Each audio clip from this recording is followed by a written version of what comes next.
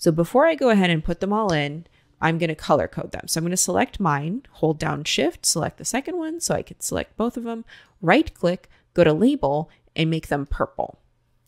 And now I can drag them in and they are purple. I'm going to select his. So select the first one, shift, select the last one, that selects all of them, right click, label, and I'm going to make them blue, which is a, a different blue than we just did. And I'm going to drag them in. And now you can see that they are different colors. Yeah, this is a good section. I can already tell because I'm just looking at the waveform.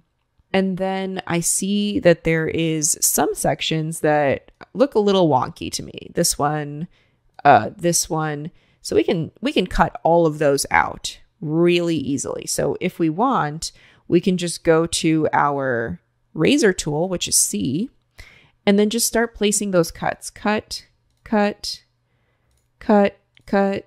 We can just chop that up. And now we just press shift while selecting all of those bits that we want to get rid of and then delete them, right? But if we delete them, it leaves all of these gaps. So then what? We have to do this? No, that's silly. That takes too long, right? So instead, if we leave the gaps, let's say we accidentally left a lot of gaps, we can just close all the gaps by doing a shortcut. Because it's not standard, just go to Edit, Keyboard Shortcuts. And here you see all of the keyboard shortcuts um, that Premiere has. And you can actually type in and search for keyboard shortcuts to see if they exist. But you can also, if you just forget what a keyboard shortcut is, you can search them here. So I'm going to search in close gap. And you can see the keyboard shortcut that I've assigned to it is Control Shift G. And that is how I closed the gaps. Control Shift G. And but that's not all, right? Maybe I don't want the gaps to exist in the first place. So let me go back a little bit. Let me hold down shift, select all of these in between moments, all of the stuff I want to cut out. And instead of deleting them with a regular delete, I'm going to delete them with a ripple delete. And a ripple delete is going to magnetically put all those clips together. So I right click and I go to ripple delete.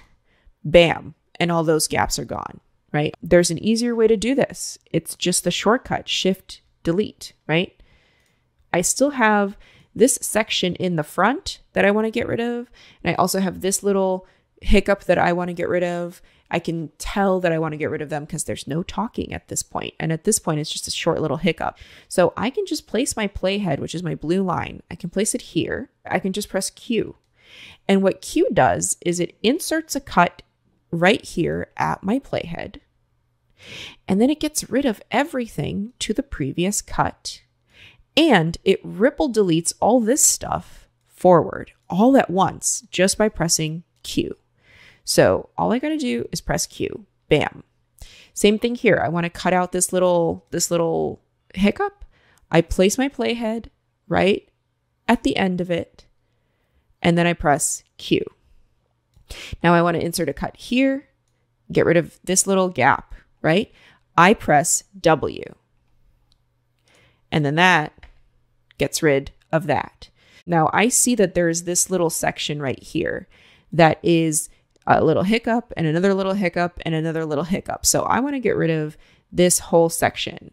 I can do this with shortcuts as well. So instead of going to the razor tool and changing tools and clicking and clicking and then selecting this and then ripple deleting, that's a lot of work.